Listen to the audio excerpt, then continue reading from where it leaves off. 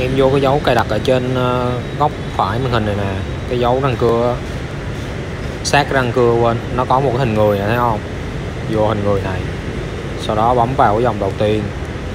À quên. Bấm vào hình người này nè. Cái hình người bên góc này có dấu cộng nè. Bấm vào đây. Đó. Sau đó bấm vào cái ô này. Rồi, sau đó em chụp màn hình này.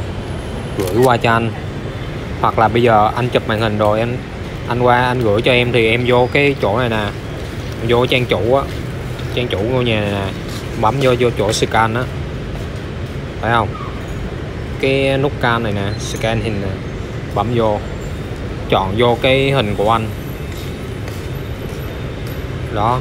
Nó sẽ ra một cái bảng để có cái giống một cam đây nè. Em bấm bây giờ em ấn vào là anh bên anh sẽ hiện cái hiển thị kết bạn giống như bên Facebook gì đó. Anh chấp nhận là được. Bây giờ anh gửi cái hình qua cho em em vô scan can đi cho nhanh.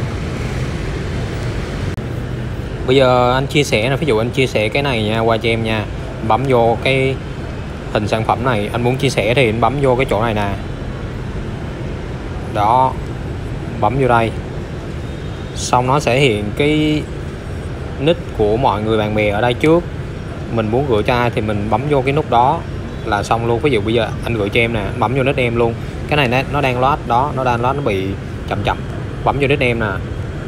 Đó là nó nhảy qua tin nhắn luôn thấy nhanh không? Khỏi phải cần à, cái này cái kia. Ok em làm thử đi nha.